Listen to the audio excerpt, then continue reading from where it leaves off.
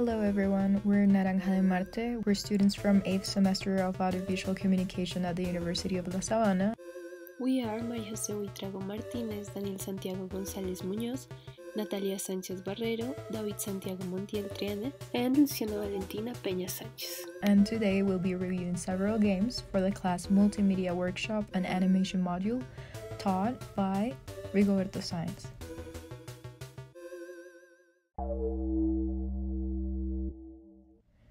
First up, we'll be reviewing Animal Crossing New Horizons. It's a game developed and published by the Japanese multinational consumer electronics and video game company Nintendo.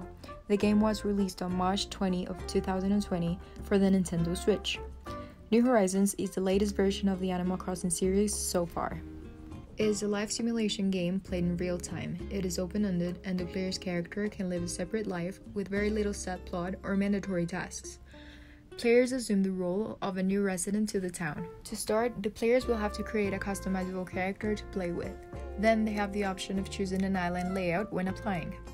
Since the game takes place completely in real time, the seasons also change with the year, which means you have a choice in either living in a northern hemisphere island or a southern hemisphere island for reverse seasons.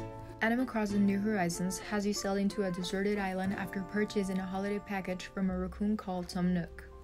To begin with, all you have available to you is a tent. You'll also be given a basic dwelling and a loan from Tom Nook. The primary driver of New Horizons is to go out and earn Nook Miles, the form of currency in the game, to pay off that debt by collecting bugs, foraging for saleable goods, building equipment, tending a garden, or whatever else you might find that you enjoy. New Horizons also introduces new features and mechanics, such as pole vaulting over the river, cliff construction, waterscaping, and crafting materials. While the game offers many things to explore, the core gameplay loop is simple, and it's up to you to get to know your neighbors and take advantage of your environment in order to progress. Animal Crossing happens to be a sandbox kind of game, with endless possibilities and freedom to set your own goals, which is why there are no real levels in the game, only achievements. There are also plenty of other things to do. There's a museum to fill with bugs, fossils, paintings, and more. You can collect shells, fruit, and seashells to sell for a profit. You can also spend time socializing and sending letters or gifts to residents and real life friends. Throughout the game, the player is surrounded by animal villagers, which happen to be non player characters. There are 391 villagers in New Horizons, excluding special characters. The NPCs range from being shopkeepers, visitors to the player's town, hosts, and many other functions. Animal Crossing New Horizons is a single player game with multiplayer capabilities, where seven other players on different devices can be invited via local network play or online network play. As mentioned before, there are little to no rules inside the game, which means that the player interacts however they prefer with all these characters, including the NPCs. Therefore, the game could be centered on having a lot of enemies to having none, depending on the player's preference. The interface is the first full Animal Crossing game in high definition, and it is also really easy to understand and control, even for people who had never played any of the Animal Crossing games. Generally, the game passes on a certain feeling of freedom to go at your own pace. There is no pressure to fulfill tasks or achieve progression on a deadline. Animal Crossing New Horizons has no specific goals towards an end, and there isn't a real feeling of competition, which is a positive aspect for people who are looking for a soothing experience and to go along with their imagination. There are lots of customization options and plenty of activities and reasons to come back every day. New Horizons provides a space where you feel comfortable enough to do as much or as little as you feel like doing. Since it is a social game, the main goal people generally go towards is interacting with other real life players. Animal Crossing New Horizons is a game released during a pandemic. It could be said that this immersive experience and interaction happened to come along just at the point we needed it the most. However, the only big thing we could identify is the little structure it has. For that reason, we'll give New Horizons a 9 out of 10.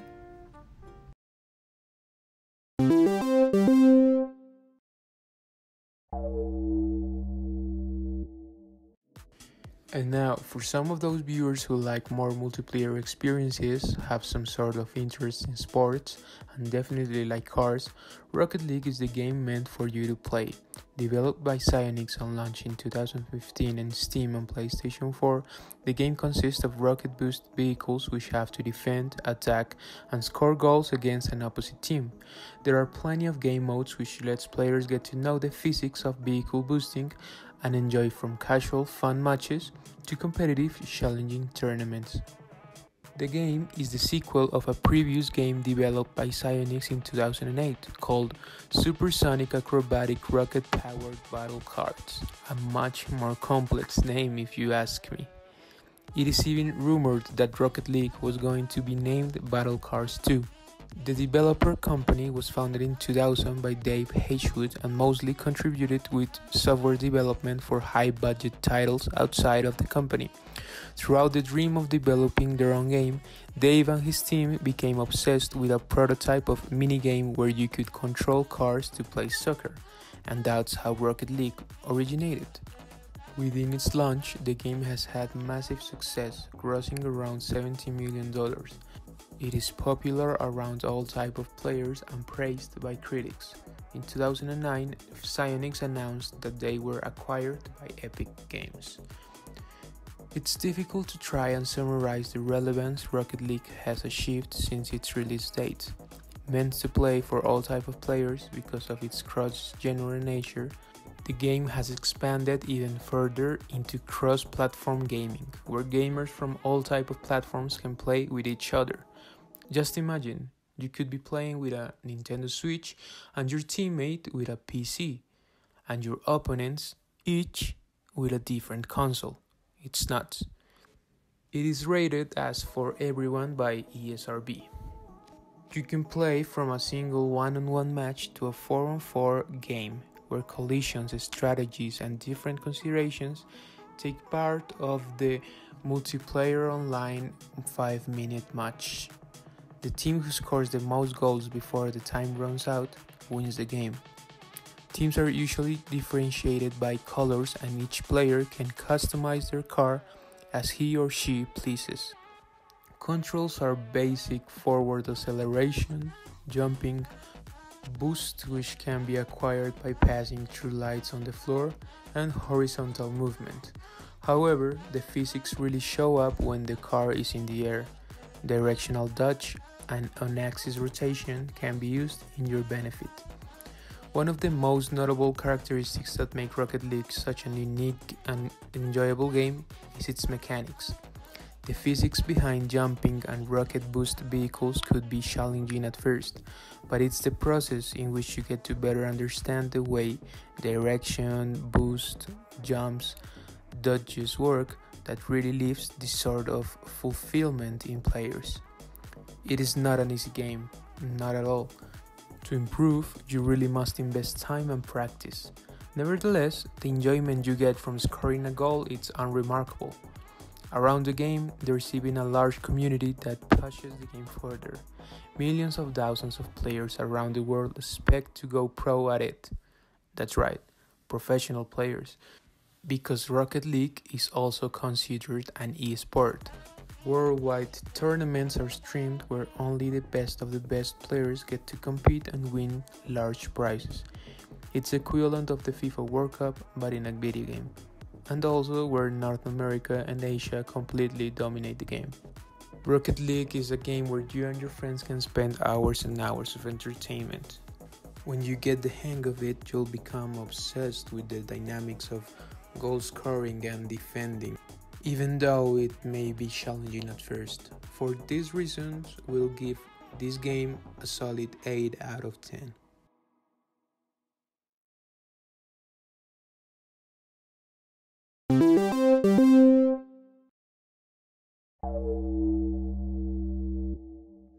In many RPG games, you face a lot of monsters. You fight them, they attack you, and you kill them, with almost no consequences whatsoever. But what if there were consequences? This is the basic idea that inspired Undertale, an indie game that was released for the first time in September 2015 to a great massive reception. However, many people wonder why so early in its release Undertale was catalogued as a cult game by journalists, critics, video game developers, and fans altogether. This is what we're going to explore today. The acronym RPG stands for role playing game. This is a video game genre where the player controls the actions of one or many fictional characters that live in an imaginary world. As I stated in the beginning, most of these games are about killing everything you encounter because those characters are seen as enemies or obstacles that stop you from achieving goals. Like in the game Fallout 3, where the character lives in a post apocalyptic scenario 200 years after a nuclear bomb attack, and he has to fight humans and monsters alike in order to save his father. Undertale completely flips around this genre premise. The moment you enter the game, you meet with text that helps you understand the setting and the universe. Long time ago, two races ruled over Earth humans and monsters. One day, war broke between the two races. After a long battle, humans were victorious, and they sealed the monsters underground with a magical spell. Mount Ebott 2010X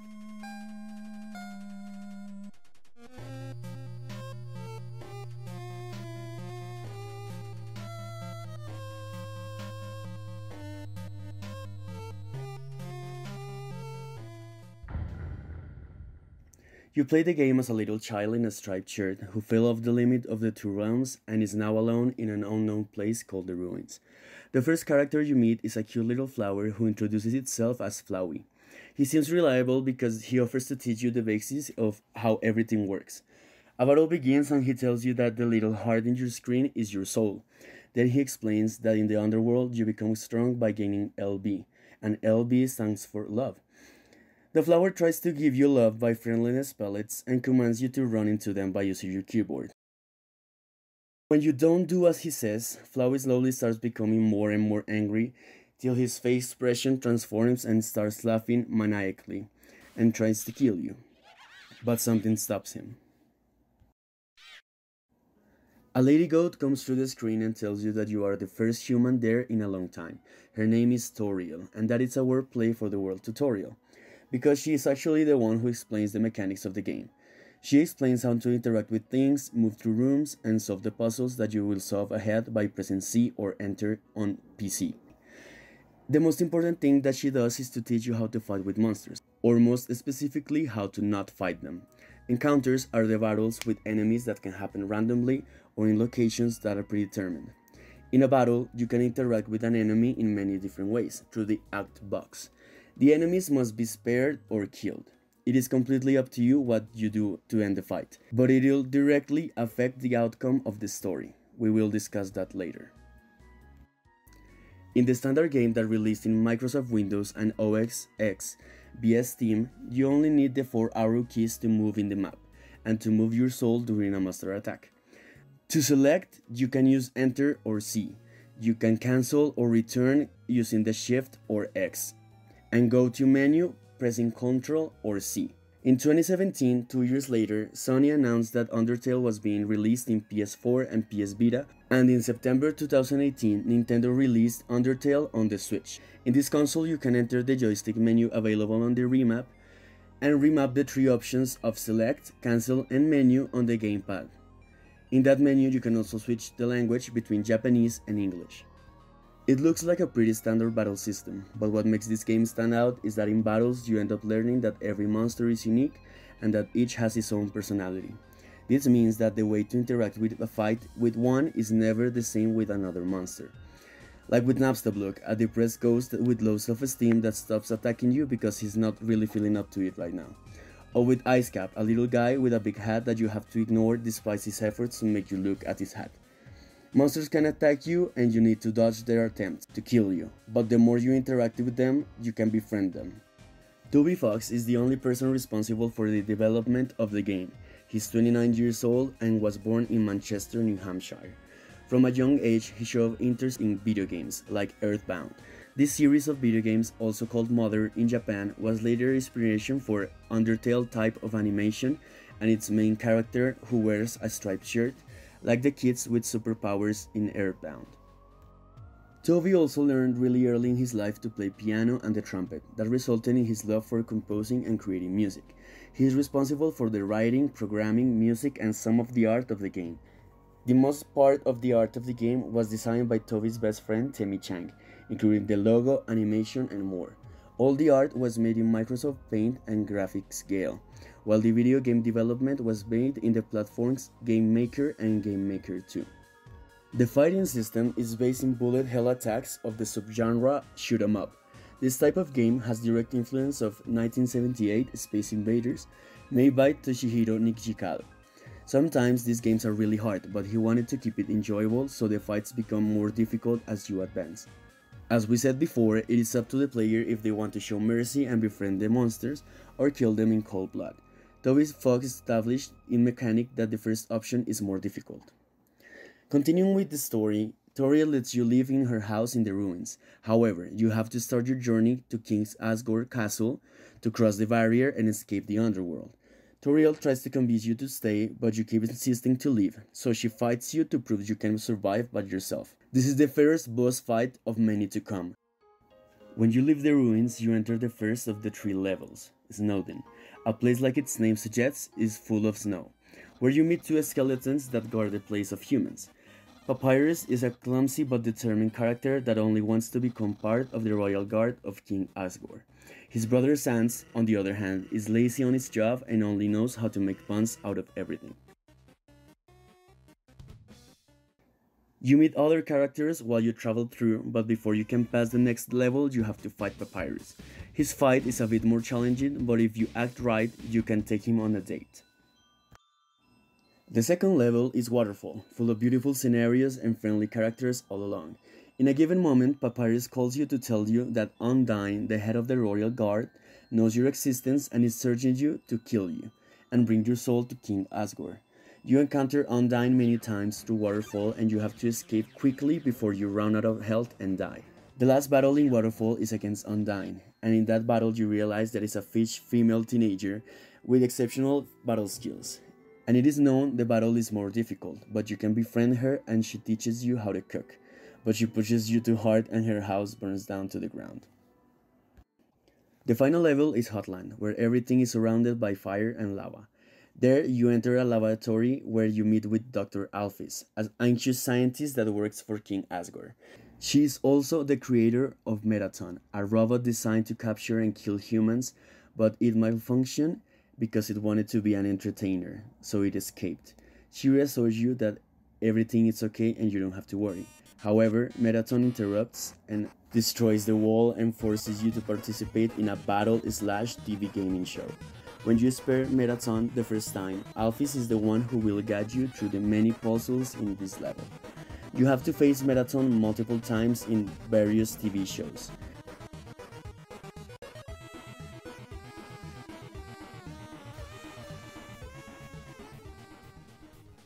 After sparing him, you are just one step closer to King Asgore Castle.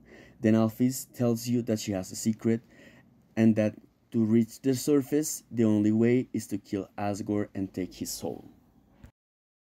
From this point forward is where the decisions you made throughout the game start to really affect the narrative. The final battle, or well, battles, come. And there are some really, really difficult ones. And there is a point where this happens.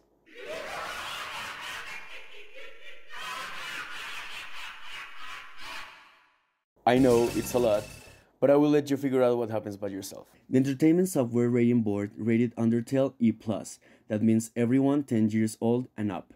This is because the game depicts fantasy violence, mild blood, mild language, and use of tobacco. In an interview, Toby Fox said he had no target audience for this game, just any gamer with no preference of age or in between genders. This may explain the non binary nature of the player character, an androgynous figure who can be named however you want. Quickly, the game became an online phenomenon, with people obsessing with it, discussing about the different endings in forums, and creating incredible fan art. Because of everything I just said, we as a group gave Undertale a rating of 10 out of 10 and in a personal note, I am a person who plays video games for the character development, complexities of the story, and of how much I can connect with it. Undertale had me hooked from the moment one until the end.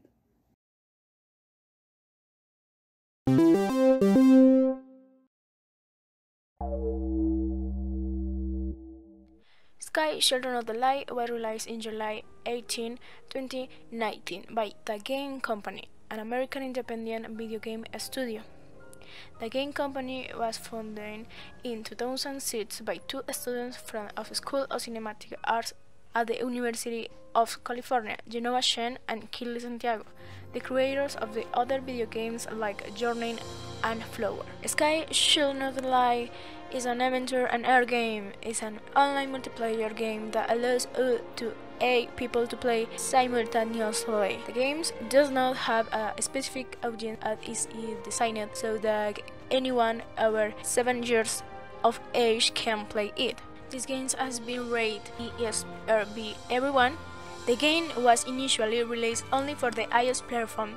On April 7, 2020, it arrived on Android and it is expected to arrive on the Nintendo Switch platform in this year 2021. The special thing about this game is that there are no enemies. There are children of light who are in charge of recovering the star and freeing the spirits from their graves so that they return to the star. In this game there are seven different kingdoms, all of them crowned by a huge temple that you can see in the distance. Each of these regions has a number of specific playable features as well as unique challenges and aesthetic themes. For example, in one of the magical ferns in the game, players will encounter an incessant rain that will force them to be aware of the light and candle, forcing them to seek shelter to prevent it from going out. The mechanics of the Sky Children of the Light allows the player to explore an fantasy-based kingdom using free roaming experience and a magical cap that grants players the ability to fly. There are seven unique realms to visit and each one is themed around a different stage in life. In addition to these realms, there is the player home which serves as a hub. Throughout the game, the player will be encounter spirits which may be used to unlock cosmetic and expressions in return for in-game currency. The player can also find Children of Light, which when winged like a collectible item used to increase cape energy, allowing further light. Furthermore, the game heavily focuses on social mechanics. The kingdom on the sky is filled with other players from all over the world, which make all be friendly and interact with. You can subsequently unlock new abilities such as chat, enabling relationships, and deeper connections. There are two main options for control mode in the gear menu, and three minor ways to adjust them one-handed. The players can do all fly, movement and camera control with one hand. Camera is moved by dragging two fingers on the screen. Jumping is done by flicking in the direction that the players wish to go in. All the other movement is with one finger two-handed. This mode allows the players to use the base in a controlled squid way. The right side on the screen is used to move the camera. The left side of the screen is used to move your character. Jumping is done by pressing the right side button and hold down to use cape energy and rings. Fly sits two-handed by reversing the sides. This simplifies the approach so that movement is on the left and camera is on the right. Invert fly involves their flight control, invert camera, this invert their camera movement. The score given to this game is 8.5. Its positive power is incredible story, its graphics, since his graphics go beyond being simple graphics and it is true to the artist side that enhance this game making this game a visual richness from the player. Additionally, the soundtrack and the sounds of the game made the environment perfect, gripping the player in a shot a way that is very much in keeping with the history and art of the game. The negative part of the game is that it does not currently have many platforms where it can be enjoyed apart from mobile phones, making this visual richness and the artistic richness of the game is like we have been able to explore much. Finally, it's not very clear what purpose is of the seasons has in the game. And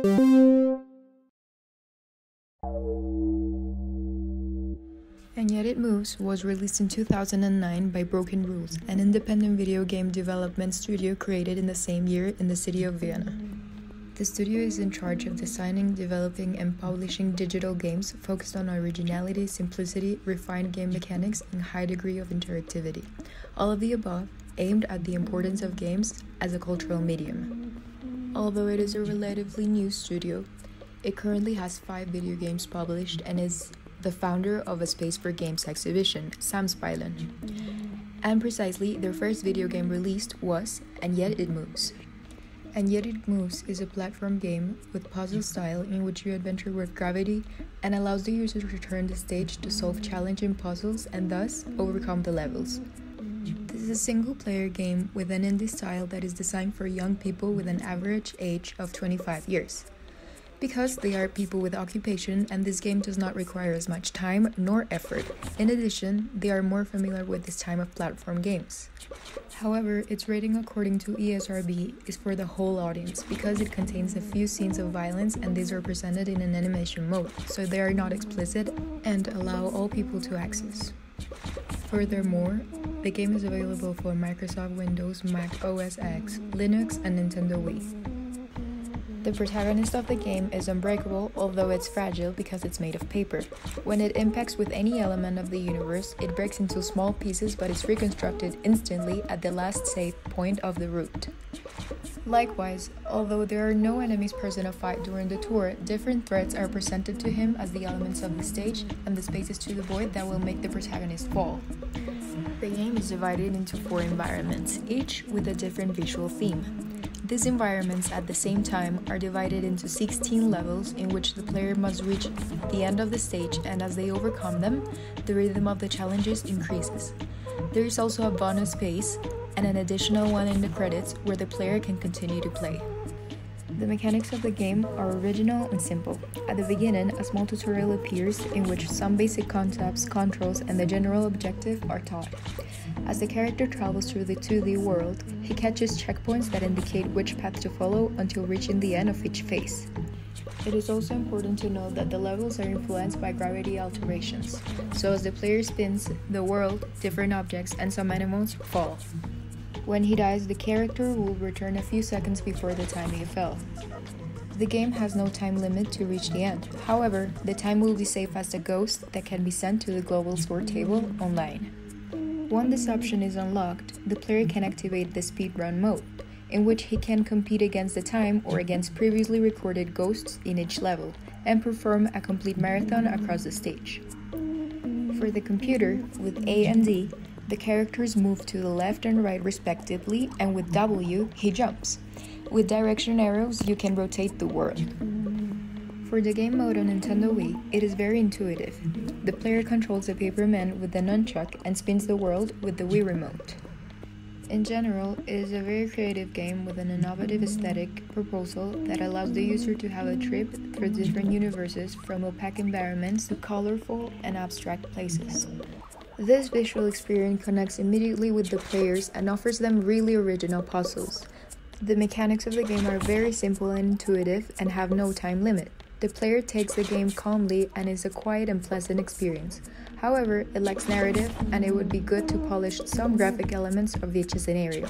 Therefore, and yet it moves, deserves an 8 out of 10.